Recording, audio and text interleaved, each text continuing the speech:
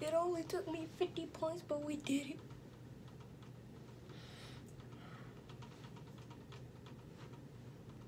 Because Jrue Holiday didn't want to hit his shots.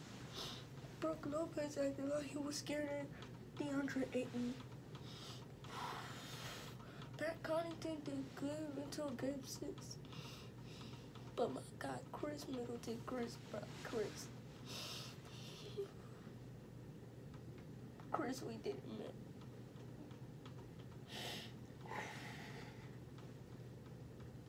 That's for my dad.